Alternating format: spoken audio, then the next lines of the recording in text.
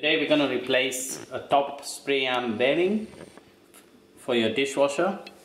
Um, open up your door, pull out your top basket, press on the latch on your top spray arm bearing, comes out easily, unscrew it anti-clockwise,